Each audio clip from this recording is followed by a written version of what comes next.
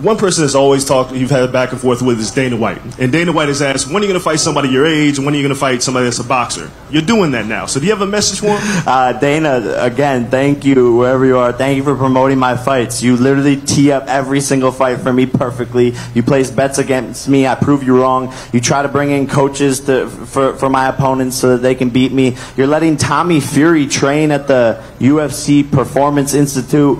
Give it up, guy. Like, g- give it, give it up. Fight a real boxer. Fight, when is he gonna fight a guy his own age? Whatever Dana White is constantly fucking saying, you know, I, I'm doing it. I'm doing it, and he's mad that I'm doing it because he's a control freak. And when he doesn't have his fingers dipped into someone's business, he doesn't want to see them succeed, and he tries to bring them down. But he's not smart enough to realize that every single time he talks about me, it just makes my shit grow up.